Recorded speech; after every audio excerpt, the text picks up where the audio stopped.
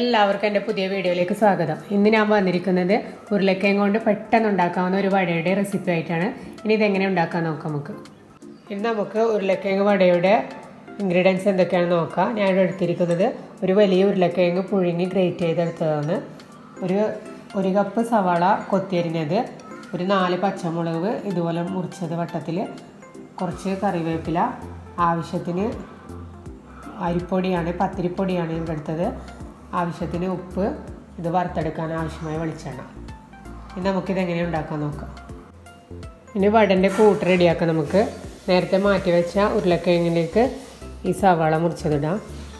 പച്ചമുളക് കറിവേപ്പില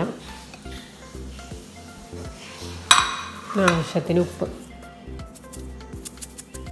ഇനി ഇതിലേക്ക് ഒരു രണ്ട് ടേബിൾ സ്പൂണ് അരിപ്പൊടി ആദ്യം ഇട്ട് നോക്കാം. ഇത് കുഴക്കാൻ ആവശ്യമായിട്ടാണ്. എന്നിട്ട് നോക്കിയിട്ട് നമുക്ക് വീണ്ടും ഇട്ട് കൊടുക്കാം. വെള്ളമൊന്നും ചേർക്കാതെയാണ് കുഴക്കുന്നത്. ഈ ഉരുളക്കിഴങ്ങിന്റെ വെള്ളം കൊണ്ട് തന്നെ നമുക്കിത് കുഴച്ചെടുക്കാം. അങ്ങനെ നമ്മുടെ മാവ് ഇവിടെ റെഡി ആയിട്ടുണ്ട്. ഞാൻ നേരത്തെ ചീനച്ചട്ടി ചൂടാക്കാൻ വെച്ചിട്ടുണ്ട്. അതിലേക്ക് നെയ് ചൂടായാൽ നമുക്കിത് വടന്റെ ഷേപ്പിലാക്കിയിട്ടിടാം. അല്പം വെള്ളം എടുത്ത് കൈക്കൊന്ന് ഇതാക്കി കൊടുത്ത്. എന്നാലും ചെയ്യാൻ കഴിയും. ഇത് വെള്ളം തടവിയിട്ട് ചെയ്യാൻ കഴിയും.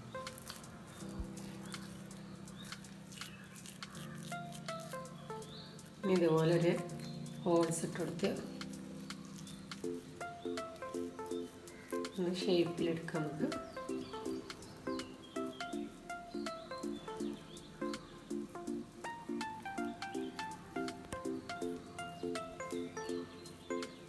അങ്ങനെ നമ്മുടെ വെളിച്ചെണ്ണ ചൂടായിട്ടുണ്ട്. ഇനി ഇതിലേക്ക് ഇട്ട് കൊടുക്കാം.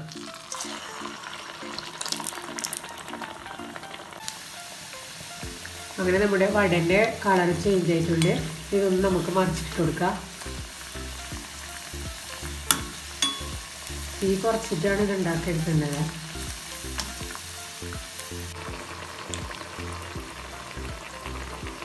അങ്ങനെ നമ്മുടെ വട ഇവിടെ റെഡി ആയിട്ടുണ്ട്. ഇനി ഇത് ഒരു പ്ലേറ്റിലേക്ക് വറുത്തു പോരാം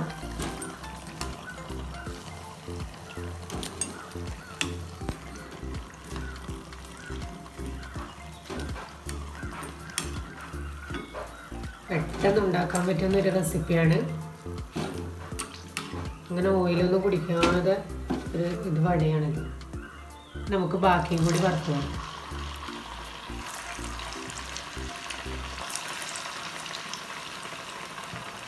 അങ്ങനെ നമ്മുടെ വട ഇവിടെ റെഡി ആയിട്ടുണ്ട്. എല്ലാവരും ഇത് ട്രൈ ചെയ്ത് നോക്കണം. വളരെ എളുപ്പത്തിൽ ഉണ്ടാക്കാൻ പറ്റുന്ന ഒരു റെസിപ്പിയാണിത് വീഡിയോ ഇഷ്ടമായി ലൈക്ക് ചെയ്യണം ഷെയർ ചെയ്യണം. വീഡിയോ ഇതുവരെ കാണുന്നവർ സബ്സ്ക്രൈബ് ചെയ്തിട്ട് ചെയ്യണം. താങ്ക്